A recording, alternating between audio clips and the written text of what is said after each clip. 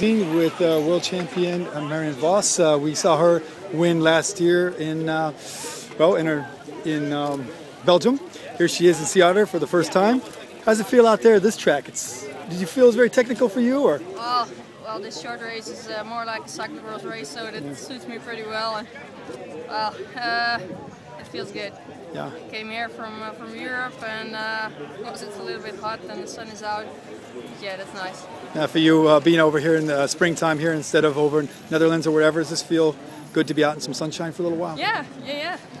It's not the reason, but it's one of the reasons okay. why I wanted to get here. okay. What was your reason for, for picking this particular event? Because it's a great event and I wanted to, to see it uh, for real and uh, get the atmosphere and because it's a great race with uh, tough competitors. We've done everything in cyclocross. This is this was last year's part of last year's cyclocross uh, course. Yeah. So did this feel uh, very familiar to you? Well, yeah, like I said, uh, especially the short race. I think we raced 30, 32 minutes.